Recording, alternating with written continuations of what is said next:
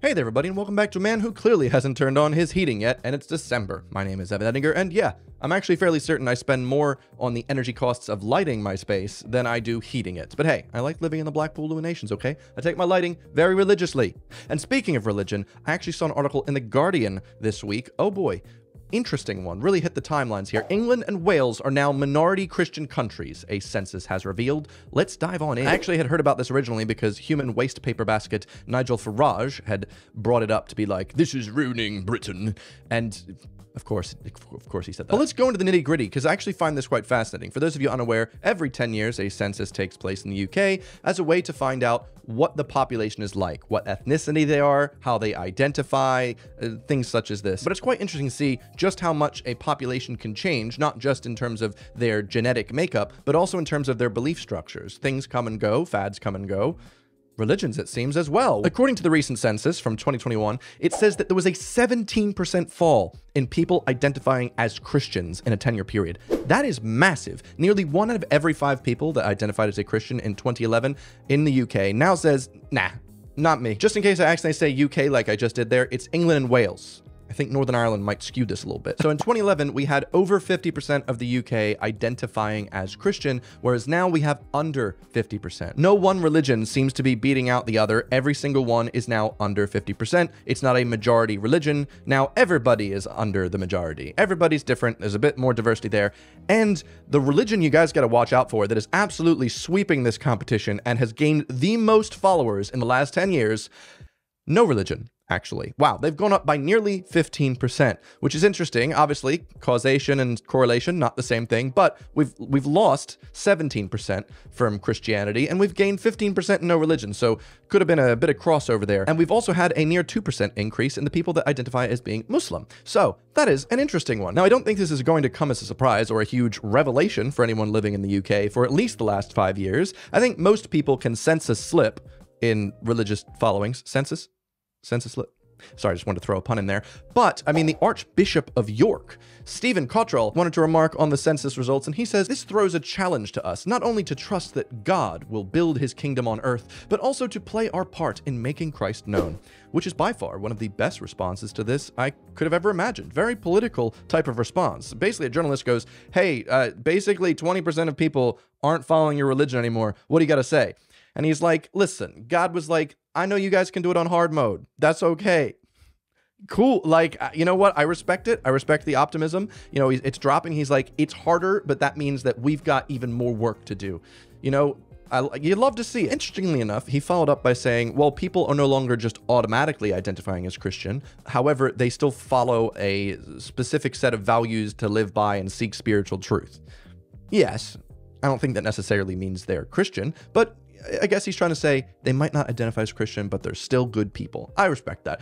However, the humanists, and if you're unaware, humanism is like a religious non-religion in a way. It's not you're not really religious if you're humanist. It's kind of like we shouldn't need a old book or the, the, fear of burning in eternal damnation in order to do the right thing. We should just do the right thing because it's the right thing.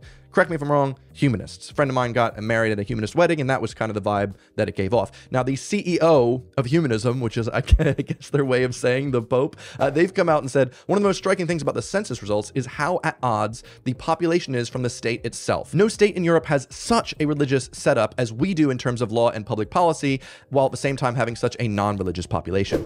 I think that's very important because I'm actually going to be doing a part two to this video where we look at the laws of Britain regarding religion because they're a lot they're a lot more interesting than you'd think they were and I feel like it's one of those where most British people be like, yeah, we don't really agree, but it's tradition. So uh, subscribe for that. That'll be coming in the near future. But yeah, interestingly enough, the UK has quite a lot of religious laws being like, Christianity's cool but the country is not as religious as you'd expect. And here in this map of England and Wales, we see that, wow, South Wales, absolutely not believing. If you're south of the valley, you, you can't see God anymore. You're out. Most people in South Wales considered being religious, but then they carefully decided not to. Okay? There, they, they went for it. Mm -mm. Wait, Brighton and Hove? Oh, I mean, obviously.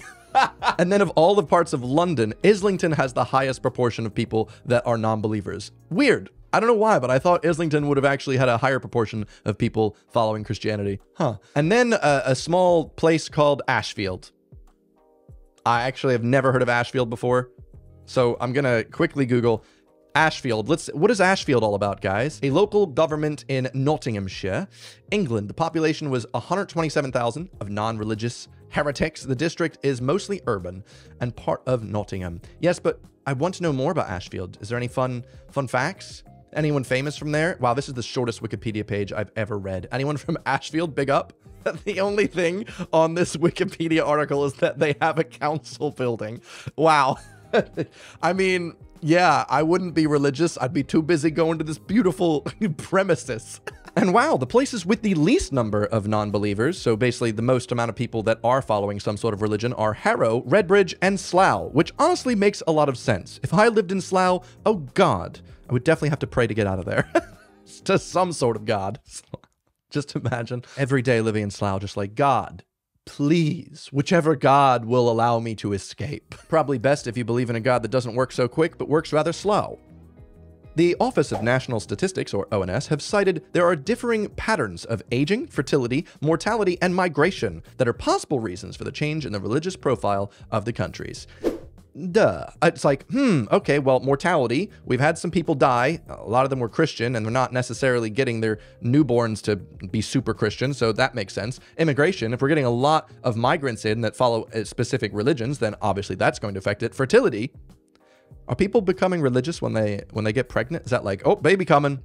God damn, Jesus, I love you. Like, is that actually happening? And then aging. I guess as you get older and you begin to grasp the reality of your situation, that life is so fleeting and short, and well, you get scared of the unknown, not to get deep there, but I guess that makes sense. You're going to turn to religion. Ah, and here's the map that definitely rustled Nigel Farage's jimmies. It says here the populations of Leicester, Luton, and Birmingham are now greater than 50% black and minority ethnic. Now, if we're looking at the census data and the population across both the entire countries of England and Wales, well, then it's 81.7% white still, but in specific urban pockets, you're going to get different diverse quarters. Also good to note that the Guardian actually points out that in between the previous two censuses and is it censuses? Sensei?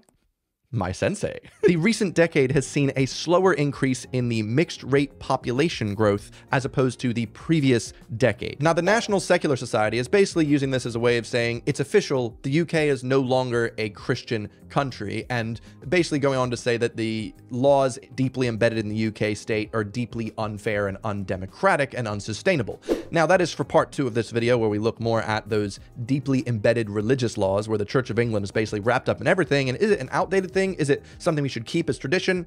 That is for you to comment in the comment section in a very kind and understanding and empathetic way with some nuance, but also for my second video coming soon. I think one of the best ways we can look at this data and attempt to interpret it is basically like a statement coming from the census deputy director who says that despite the rising ethnic diversity, 9 in 10 people across England and Wales identify with the UK national identity, and that's 8 in 10 in London.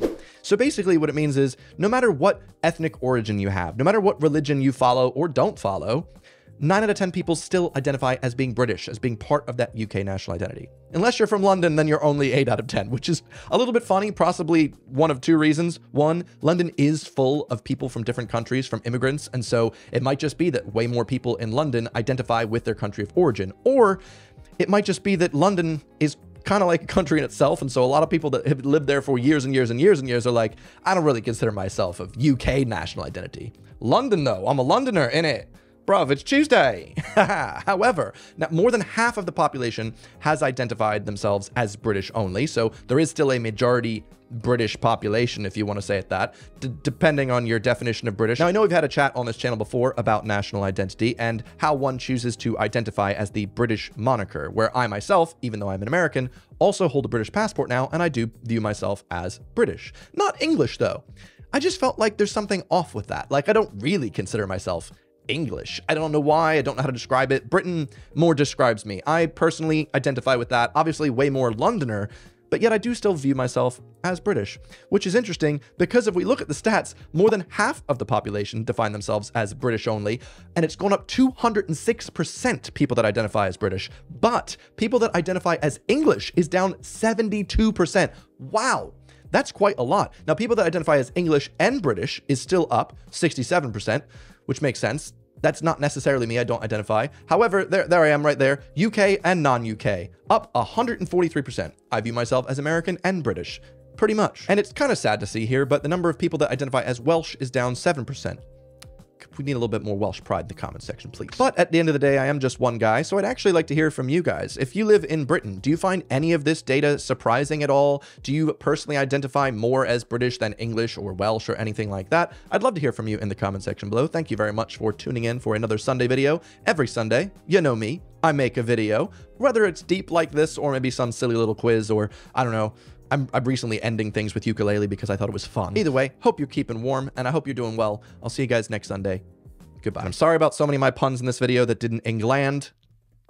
I tried. People in the UK, they don't find themselves that much religious. Don't sue me if you don't like this video, don't be litigious.